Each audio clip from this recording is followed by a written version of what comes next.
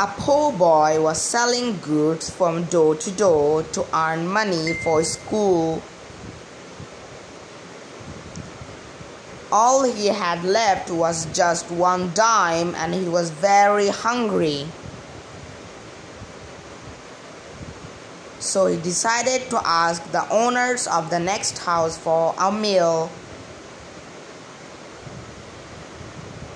But he felt very nervous about it. When a lovely young woman opened the front door, the boy asked for a glass of water instead of a meal. She looked at him and assumed he was hungry and brought him a big glass of milk. The boy drank the milk slowly and asked the woman, How much do I owe you? She replied, You don't owe me anything. My mother taught me never to accept payment in return for kindness. The boy said, Then I thank you from my bottom of my heart. As the boy walked away, he felt stronger physically but also had a stronger faith in God. Years later,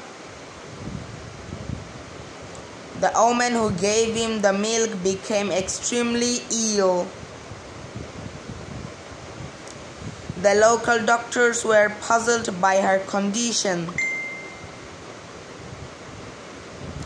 So they sent her to the big city. A specialist called Dr. Johnson was called for a consultation about her health. As he heard the name of the town she came from, he walked to her room to see the omen. He immediately recognized her face.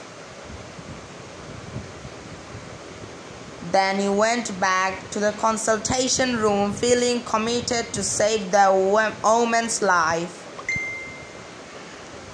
He devoted most of his time to her case. After a long and difficult struggle, the battle with the disease was over. Dr. Johnson asked the office to give him the final bill for approval. It was $28,350. He looked at it, then wrote something on the edge and sent it to the woman's room. She was mortified about it because she knew she would have to spend the rest of her life to pay for it. Once she got the courage to open it, her attention was caught by something written on the side. It read paid in full with one glass of milk, Dr. Ben Johnson. Dr. Ben Johnson was a successful doctor, but he never forget, forgot the feeling that glass of milk provided for him when he needed it the most. Never stop doing good things for others. Your kindness will multiply before it returns back to you. Give it to others and you will have it given to you.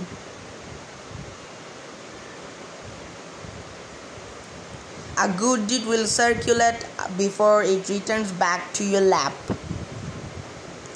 So, yeah, thanks for watching the story. I will come with another story. Till then, bye bye.